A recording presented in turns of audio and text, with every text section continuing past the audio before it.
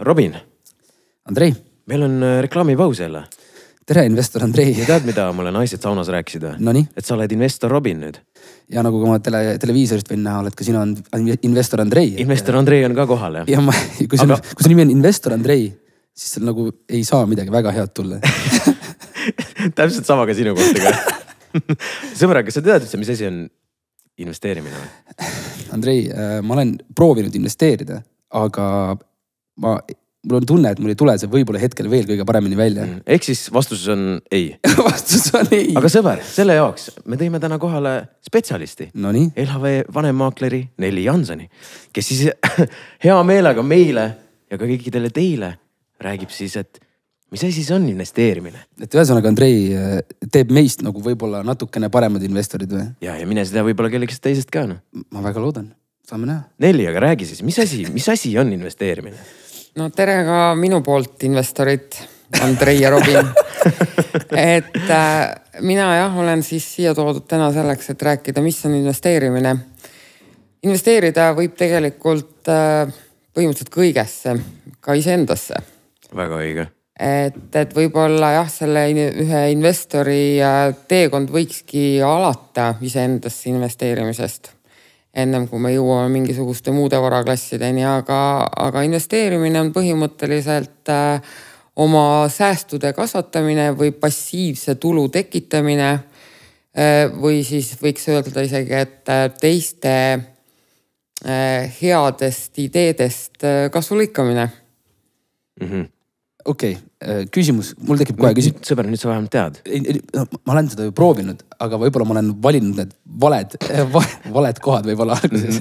ma olen investeerinud valedesse kohtadesse yeah.. aga selles mõttes, millised nagu selles mõttes need variandid siis on, et kui me räägime iseendasse investeerimisest, siis see võib olla näiteks, näiteks, koolitus, äh, hea raamat, see on ka tegelikult juba iseendasse investeerimine. uued teadmised meil on, mul osaleme investeerimisalane raamat, Andrei. On küll kusjuures, kas sa oled seda lugenud? olen küll kusjuures kui. palju? väga palju aga oli sellest siis ka kasu midagi? ja niivõrd-kuivõrd kusjuures ma sain oma mingisugused äh, personaalsed sellised spending ud ja mingid sellised asjad sain paika onju. investeerimisega ma hakkasin tegelema mingisugune eelmist aastast, Mhm. aga oleks võinud varem ikkagist, siis oleks kõik juba to the moon olnud vaata. Nelli, mul on selline küsimus, et kuidas nagu selles mõttes reaalselt siis nagu alustamine käib? Et äh, mid, mida ma nagu selle jaoks tegema pean, ma näen, et mul on kontol näiteks mingisugune summa raha. ja mulle öeldakse, et sõbrad kõik kõrval investeerivad, et millest ma nagu, mida ma peaksin vaatama, mida ma peaksin jälgima selles mõttes, et kas ma alustaks al,, peaksin alustama raamatust, ma saan aru, või üldse ennast kuidagi nagu mingi, mingite asjadega kurssi viima. jah, no ütleme tegelikult, kui päris veel rohkem algusesse mm -hmm. minna, et, et siis võiks olla korras enda rahaasjad. ehk siis äh, sinu isiklik eelarve võiks olla paigas, et sa tead täpselt, palju sa millegi peale kuus kulutad, mis on sinu väljaminekud, mis on sinu sissetulekud ja palju sa saaksid säästa kuus et, et kui sul ikkagi äh, iga kuu lõpus äh, terendab pangakontol tühjus, siis midagi on ikkagi kuskil valesti läinud, ehk siis see äh, on siis selline sinu, sinu teema, vist. no kes see teab no., võib-olla. sest et tegelikult äh, jah, kui need äh, oma kulud-tulud tabelisse panna, et siis üldjuhul ikkagi inimesed äh, saavad sellise väikse üllatusmomendi osaliseks, et kui palju noh, kulutatakse tühja tähja peale raha ja, ja sellised väikesed summad, mis äh, noh, ei tundu mingisugust suurt mõju omavat aga kui sa nad niimoodi kuu lõikes kokku paned, siis äh, see summa on päris arvestatav. Ja kui sa siis hakkad ümber arvestama, et aga kui ma oleks investeerinud seda, oleks teinud seda aasta-kaks, eks, et, et siis see mitte ainult see summa ei oleks alles, vaid see summa oleks tõenäoliselt ka suurem. nii et, et üks asi äh,, enda isiklik eelarve teine asi võiks olla mingisugune säästupuhver, nimetatakse seda ka siis meelerahu, meelerahufondiks, et, et noh, midagi ventikasse lendab ja üldiselt lendab, eks ole, niiviisi ootamatult. et siis, et siis ei peaks hakkama rabistama mm. -hmm. et ei peaks hakkama rabistama oma investeeringutega sest et noh, me küll jõuame ilmselt selleni, aga noh, investeering ei ole päris äh, sarnaselt toimiv asi nagu mingisugune pangahoius et, et mul on seal mingi summa, mingi, mis on tagatud mul sada protsenti ja ma võin ta iga hetk välja võtta. et, et investeeringut sellise lõpptähtaega ei tohiks panna nii et, et, et sul peab olema see puhver, kui midagi läheb valesti, et mul on vaja kohe kiiresti mingisugused kulud katta, siis mul on see puhver olemas, et see ei löö kogu mu elukorraldust sassi. ja siis see kolmas samm võiks olla see, et, et nii, okei okay,, mul on kõik need isiklikud rahaasjad korras, mul on säästupuhver ja nüüd mul on iga kuu mingisugune sääst, mingi X summa. ja vot nüüd ma hakkan vaatama, et kuidas seda kõige paremini kasvatama hakata mm. -hmm no aga miks, miks üldse inimene peaks äh, investeerimisega, investeerimisega alustama, et no nüüd tal siis kaks tuhat kakskümmend kaks on, pani endale kirja, ma võiksin alustada, aga miks, miks ta peaks alustama? No ütleme, see eesmärk, äh, miks inimesed investeerivad, need võivad olla väga erinevad, ehk et seal, seal ei ole midagi kivisse raiutud, et äh, noh, üks, üks selline peamine argument on võib-olla see, et, et inimesed tahavad saada mingil ajahetkel näiteks äh, finantsvabaks.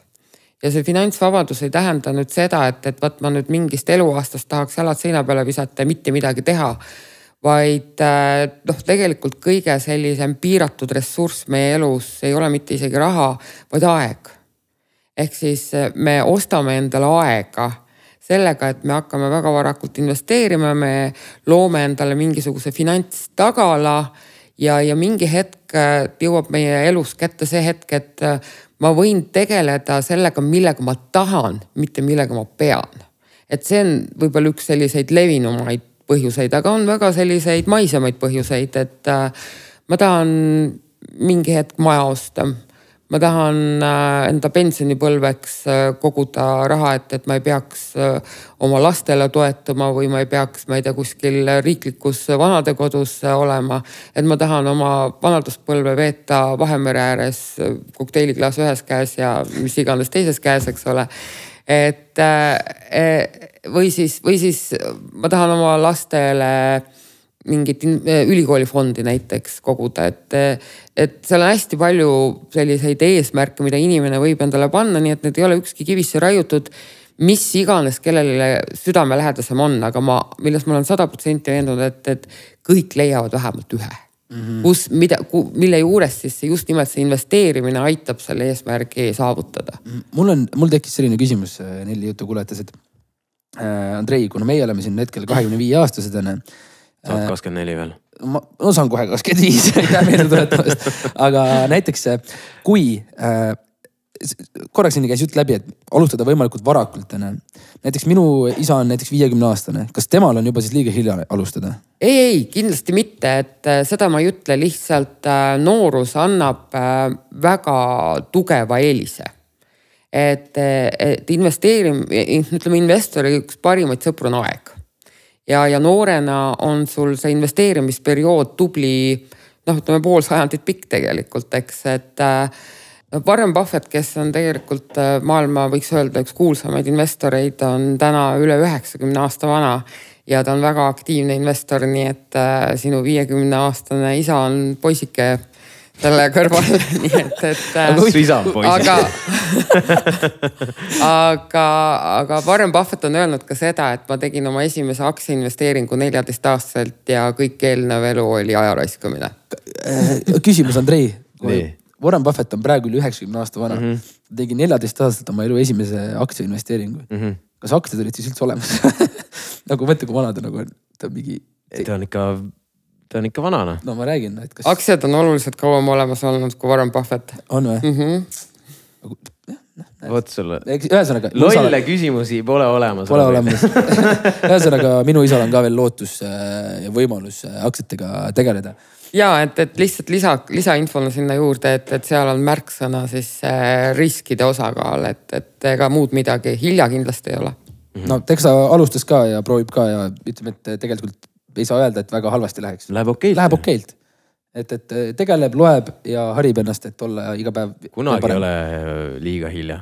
absoluutselt, no vaata, meil on äh, ikka siin investeerimise teema pealt käivad läbi siuksed väga paljud erinevad küsimused, et millised on need mõisted ja, ja mida need täpselt tähendavad ja sõbrad, meil on võimalus äh, siin inimese käest küsida täpselt ja nendele vastused saada, et, et võib-olla kõige lihtsam oleks alustada, et mis asi, mis asi, mis asi üldse on aktsia ettevõtte juures või mis asi selline on, mida ma endale ostan Äh, aktsiaga ostad sa endale osaluse sisuliselt. sa ostad endale Tallinna Sadama aktsia, siis sa võid äh, Tallinna Sadamas äh, jalutada ringi natukene nagu omanikutundega, sellepärast et mingisugune pisike jupikene äh, kuulub sealt sulle.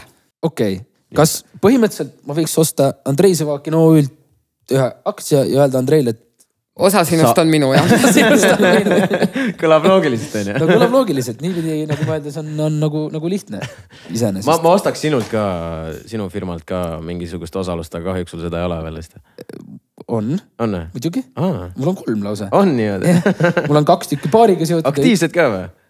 üks on see, kus me teeme investeeringuid aa, ja üks, kaks tükki on need, mis Davai, ma ootavad paari ma aega. siis ostan kõik ära. osta kõik ära. aga Nelil küsimus oli, et mis asi on börs näiteks? No maakeeli on ta turg, eks mm. -hmm. et äh, te kõik olete turul käinud, Balti jaama turul olete käinud, eks No ole et lähed ostad tomateid, onju. tädi annab sulle tomatid, sina annad talle raha ja te leiate mingisuguse äh, tasakaalupunkti, et, et palju raha olete teie nõus äh, andma nende tomatite eest välja. ja, ja see on see, kuidas kujuneb tegelikult ka börsil aktsiate hind ehk siis nõudlusest ja pakkumisest. kui on rohkem äh, ostjaid siis on nõudlus suurem kui pakkumine, aktsia hind tõuseb. kui on rohkem müüjaid, siis on pakkumine suurem kui nõudlus ja aktsia hind langeb. ja, ja niimoodi need aktsiahinna tasemed börsil tekivad, ehk siis ongi puhas nõudlus ja pakkumine. ühel pool on müüjad, teisel pool ostjad. ehk siis põhimõtteliselt Andrei, kui sa oled tähele pannud seda, et kui meie ostame, vahet ei ole siis, mis, mis varaklass, kas me ostame näiteks aktsiaid, toome näite, me ostame aktsiaid mm, -hmm. siis sa oled täheldanud ka seda, et kohe, kui meie ostame, siis millegipärast tekib, tekib see olukord, et pakkujaid on jube palju rohkem, aga ostjaid pole millegipärast. ehk siis kohe on nagu kõik läheb nuts, nuts tonks, nuts tonks. kõik läheb alla millegipärast, aga no ühesõnaga nüüd me vähemalt teame, miks see nii on., kui me müüme või ei osta ja me mõtlesime, et võiks seda osta, siis läheb. seda nimetatakse. Murphy seaduseks. siis, siis on stonks. miks meie oleme nii oleme, kõik inimesed maailmas on sellised lihtsalt.